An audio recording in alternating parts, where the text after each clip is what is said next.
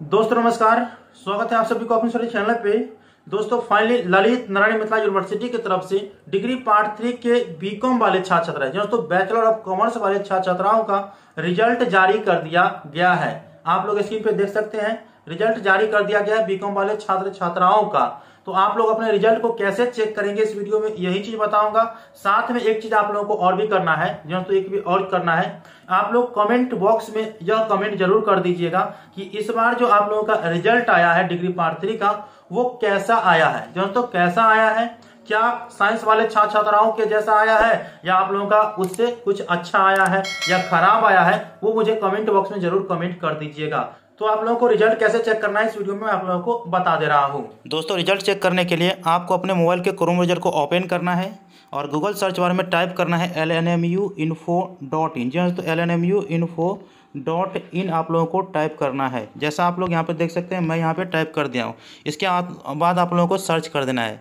जैसे ही सर्च करिएगा तो एल इन्फो का ऑफिशियल साइट आप लोगों को इस प्रकार से देखने को मिल जाएगा।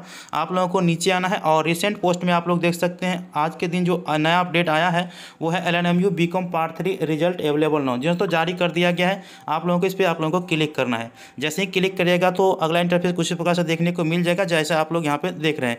दोस्तों, आप लोगों को रिज़ल्ट चेक करने के लिए आप लोगों को यहाँ पे नीचे लिंक दिया गया है। आप लोग चाहें तो ऊपर वाले लिंक से भी क्लिक करके अपना रिज़ल्ट चेक कर सकते हैं और नीचे में स्टेप बाय स्टेप दिया गया कि कि download part three science result click here आगे में, इसके बाद download part three commerce result click here. और जो आर्ट वाला के लिए है, अभी रिज़ल्ट नहीं आया तो कमिंग सून यहाँ पे बता रहा है। तो आप लोगों को कॉमर्स वाला रिज़ल्ट चेक करना है तो कॉमर्स वाले के सामने में आप लोग यहाँ पर देख रहे हैं क्लिक हेयर। इस पर आप लोगों को क्लिक करना है। जैसे ही क्लिक करिएगा तो मिथिला यूनिवर्सिटी के ऑफिशियल साइट पर आप लोग आ जाइएगा। जैसे आप लोग यहाँ पे देख सकते हैं, अभी ट्रैफ़िक अगर तेज़ रहेगा, ट्रैफ़िक ज़्यादा रहेगा तो ये साइट थोड़ा स्लो काम करेगा। तो कुछ देर के बाद आप लोग अपना कर लीजिएगा, ठीक है? यहाँ पर आप देख सकते हैं आप लोग की रिज़ल्ट अवेलेबल यहाँ पे सात एक दो हज़ार इक्कीस को जारी कर दिया गया है, ठीक है?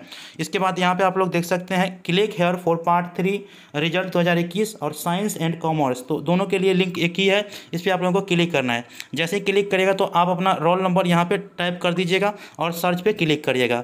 जैसे ही सर्च पे क्लिक करिएगा तो आपका जो रिज़ल्ट है वो शॉप हो जाएगा, जैसा आप लोग यहाँ पर देख सकते हैं दोस्तों। आपका रिज़ल्ट जारी कर दिया गया है। आप अपने रिज़ल्ट को प्रिंट कर लीजिएगा। तो यहाँ पर आप लोगों को साइड में click here to print this page इस पर आप लोगों को क्लिक करना है। जैसे ही क्लिक करिएगा तो आप लोग देख सकते हैं, आपका जो रिज़ल्ट है वो पूरी तरह से डाउनलोड हो चुका है। आप कौन से क्लास आए हैं, नहीं आए हैं, आप कमेंट बॉक्स में ज़रूर बताइएगा। ये स्टूडेंट से पाँच अंक के साथ ये फ़र्स्ट क्लास आ चुका है, इसका आप लोग यहाँ पर देख रहे हैं। तो आप आई होप कि आप लोगों को सभी जानकारी समझ में आ चुका है, आप अपना रिज़ल्ट को कैसे चेक करेंगे। तो मिलते हैं अगले वीडियो में, तब तक के लिए धन्यवाद, जय हिंद, जय भारत।